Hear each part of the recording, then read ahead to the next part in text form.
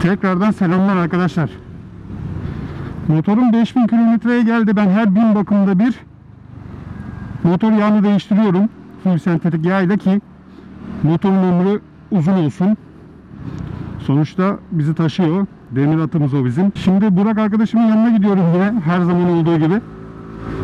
Bir gidelim bakalım. Suzuki Adres 110'un yağı nasıl değişiyormuş hep birlikte görelim. Selam arkadaşlar. Geldim şimdi Burak'ın yanına. Yağımızı aldık. Ben 1000 kilometrede bir yapıyorum bakımı. Ufak CC olduğu için ben de ağırım. O yüzden sıkıntı çıkmasın motorda diye. Şu yağı alıyorum. Motul 7110 40 full sentetiğini. Bunun alt tarafta tıpası. Onu da şöyle ışığı tutalım. Şurada görürsünüz. Tıpası orada. Onu açacağız birazdan. Daha yeni geldiğim için şu anda sıcak bayağı. Açma anahtarı 17. Yağ tam soğumadan ılıkken değiştireceğiz. Açma anahtarı da adresin 17. Bununla açacağız. O tıpayı açacağım. Hani açarken göstermeye gerek yok zaten. O yağ akarken yine çekmeye devam ederiz. Evet arkadaşlar. Açtık tıpasını. Şu aşağıdan görüyorsunuz çok zorladı. İsmail Usta sağ olsun bayağı bir sıkmış. Şurada görüyorsunuz. Dur. Görüyor musunuz bilmiyorum da. Şöyle soksana haftaları kanka. Şurada. Nerede? Heh, burada. Burada ayrıca süzgeç var. Onu da göstereyim. Süzgeci çıkartacağız. Balata sprey ile temizleyeceğiz bunu. Çıkartabilirsek tabii. Biraz zor. Çıkmıyor. Parmak abi çıkar.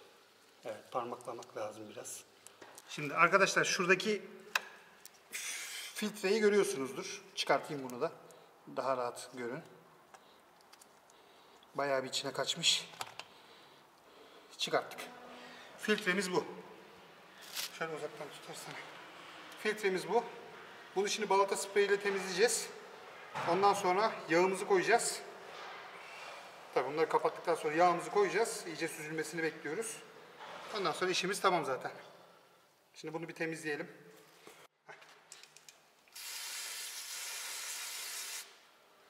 Temizledik. Şöyle kapağın üstüne koyalım. Bunun da içi böyle. Arka tarafı gözükür. Tel zaten. Bu tarafı temizlemiştik. Şimdi buradan biraz daha sıkalım. Pırıl pırıl oldu. Şimdi o yağın akmasını bekleyelim. Böylece elimizde pırıl pırıl oldu. O yağ tapasını da bence bir temizle. Kapayı da temizliyoruz. Yağ kir kalmasın. Evet. Şimdi iyice süzülsün. Ondan sonra da takmaya başlayacağız. Evet arkadaşlar şu anda süzülmeye devam ediyor. Ondan sonra şu tıpasını takacağız. Şu süzgecini takacağız. Şunu içeri doğru sokalım. Elim çok kötü olmuş ha. Evet. Şöyle. Zaten ışıktan bakarsanız şöyle görürsünüz. Çok ince süzgeç. Buradan giriyor yağ. Süzüyor ve çıkıyor gidiyor.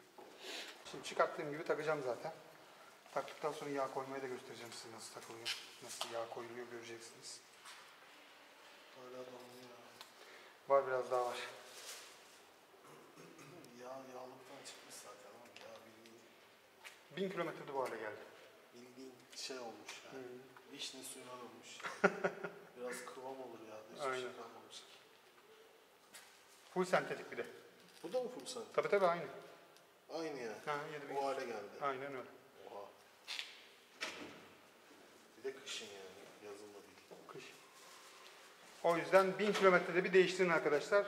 Bu arada açarken şu vidayı, yağ vidasını açarken bu taraftan çalışmayın. Öteki tarafa geçin. Öteki tarafta yan yatırın oradan açın yoksa parmağınız böyle olur. Şöyle yapıp bir de motor tutsun. Evet iki kişiyle yapın bunu. Tek kişi zorlamayın. Bayağı zor oluyor çünkü tek kişi. Gördüğünüz gibi. Biz ayakla açtık yani. Evet dayanıp yere oturduk. Kıçımızı yere koyduk. Ayakla Allah ne verdiyse bastırdık. Daha doğrusu Burak bastırdı sağ olsun. Benim el böyle olunca. Hala acıyor zaten. Şişti gördüğünüz gibi. Ayak tekniği iyidir abi. Ya görüyorsunuz şu videoları çekmek için nelerle uğraşıyorum. Bir de bunların editi var. 4 saat beklemesi var, yayınlaması var. Şimdi tıpayı falan takalım. Ondan sonra yağ koyarken devam edeceğiz. Şimdi motorumuzu yan ayaklı aldık yine. Daha rahat koyalım diye. Şimdi bu scooter için olmadığı için bu yağ şöyle gördüğünüz gibi ağzı büyük. Bununki de küçük. Şimdi yere dökmeden oraya doldurmaya çalışacağız bakalım. Dikkat ederek dolduruyoruz. Normalde scooter için olan şuradaki deliğin içine giriyor. Sıkıyorsunuz, devam ediyorsunuz. Hiçbir sıkıntı olmadan da dolduruyorsunuz. Veya onun bidonunu saklayacaksın. Onun bidonu evde duruyor da full sentetik olmadığı için ikisini birbirine karıştırmayayım dedim.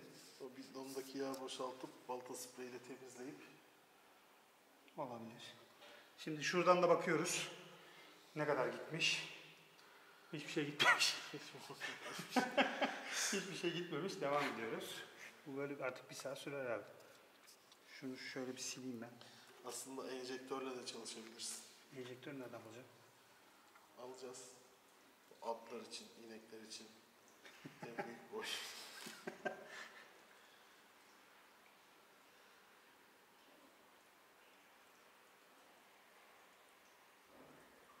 Arkadaşlar şunu dönmeyecek şekle kadar sıkıp tekrar çıkartıyorsunuz. Direkt koymayın. O vidadaki 2-3 milim bile fark edebilir. İki çizgi arasında şu an sıkıntı yoksa. Gayet güzel. Evet. Yağ değiştirme işlemi de burada son buldu. Yes.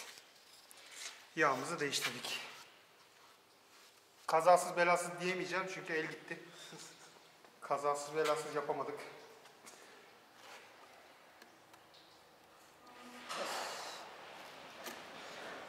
Yani bu gibi işlerde dikkatli olun arkadaşlar. İnşaat eldiveni kullanırsanız ya çok ciddiyim. İnşaat eldiveni kullanırsanız böyle işlerde hani eliniz beliniz kesilmez. Sıkıntı da yaşamazsınız. Ben bundan sonra açarken inşaat eldiveniyle çalışacağım abi. İşte olayımız bu kadar. Siz de bu işlemleri yaparken dikkat edin dediğim gibi. Motorunuza uygun yağ alın. Ve de yağınızı 1000 kilometrede değiştirin. Biraz önce gördünüz bildiğiniz su olmuş yağ. İzlediğiniz için de teşekkür ederim. Abone olmayı unutmayın. Videoyu da beğenirseniz sevinirim. Görüşmek üzere.